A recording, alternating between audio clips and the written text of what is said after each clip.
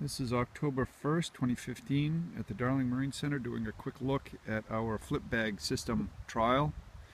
Um, and the flip bags seem to have survived the recent storm pretty well. Um, you can see that the bags don't flip completely. Um, this is a, an intertidal setup and we've got five bags. And there's a fair bit of sag in the line there, even though we've tightened up the, uh, the anchor lines there. Um, so the bags will sit on the mud and they don't go completely vertical at low tide. But they do seem to be tumbling. Uh, you can see that some of the oysters will hang up on the bags and they don't fully drop down all the way to the bottom. So here's the middle bag. It has the most sag to it. And the oysters there still caught up in the upper edge as opposed to being down here. And then you get to the end.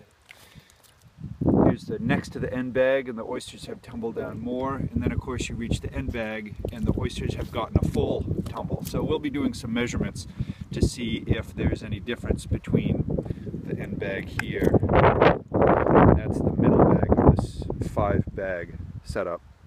And then we have some controls, just a, a set of rack and bag um, oysters set up here. We've been flipping them every once in a while. They seem to be grown quite well, nice and clean. I flipped the bags, oh, I don't know, 10 days ago or so. And so the fouling that was on the bottom is now on the top there. Uh, tunicates, colonial and, and solitary ascidians. And maybe we can see here on some of these oysters, you can see the blue B tag there. So we'll be collecting individual statistics as well as group statistics too.